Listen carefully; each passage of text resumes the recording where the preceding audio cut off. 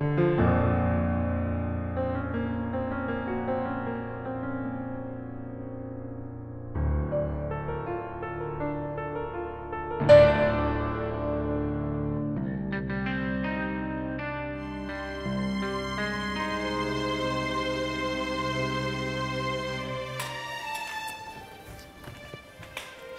Indah, Indah. Indah, kamu itu sebaiknya istirahat. Karena orang kalau habis donorin darah pasti terasa lemes dan pusing.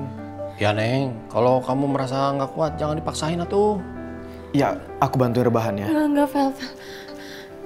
Aku mau lihat kondisinya Pak Hendardi. Indah, Om Hendadi sudah dibawa di ruang operasi.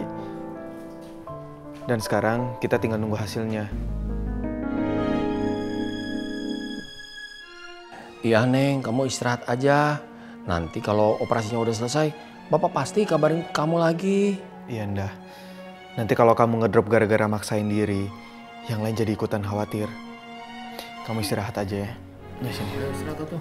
Istirahat. Eh, istirahat.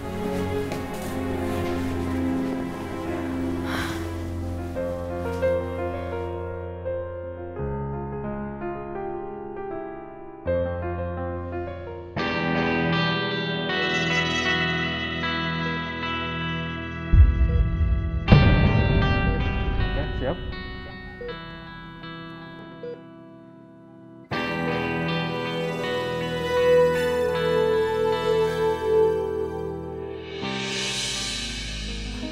Tante, aku khawatir banget sama keadaannya Papa. Papa bakal baik-baik aja kan, Tante ya? Ya kan? Iya, iya, iya, iya. Tasya tawakal. Tante yakin Allah